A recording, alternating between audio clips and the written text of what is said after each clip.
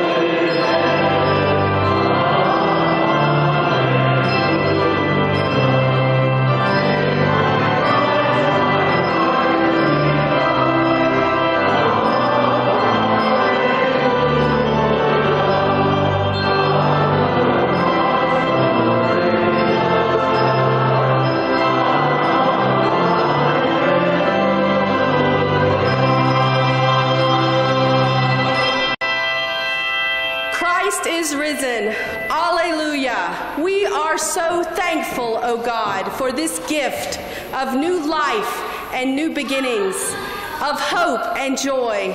Fill us this day with that hope. Fill us this day with your joy. Amen. You may be seated. Well, good morning. Happy Easter to all of you. We are so grateful that you are here today. Um, we're so grateful that so many of you are visiting with us for the very first time. Um, last year, for the first time in about four decades, we actually um, used the balcony, but there were only about half a dozen people there. I, I would invite you all to turn and look at how wonderful. Wave. Welcome. I just want to tell you, when we arrived about three years ago, that's about how big the whole congregation was. So, so we're glad you are all here today. Um, because you are a first-time visitor, visitor, you are our honored guest, and we won't embarrass you in any way, we promise. All we ask of anyone and everyone is that at the time of the offering, if you will register your attendance in red pads that are near the center of the aisle. And if you are here for the first time, please give us your address because we want to write to you and invite you to come back send you a gift from the Virginia Church. And if you'll give us your email address, we write a daily devotion that we'd also like to send to you. And that's all we'll do. Everyone will register their attendance, but if you're a first time visitor, if you'll give us your information, that would be a great honor to us because we are glad you're here. Welcome and happy Easter. We're glad you're back too. We Well, missed you. thank you. Yes, I was having tea with the Queen last week over in the UK. It was lovely. I also got a British haircut, which apparently means you don't have any hair at all. so, I, um, it's a little short, but anyway, I digress. So it's great to be back. But great to be back with all of you. I'll be here for like a couple more weeks, and then I'm off again. So it's fun to just stop in and see you.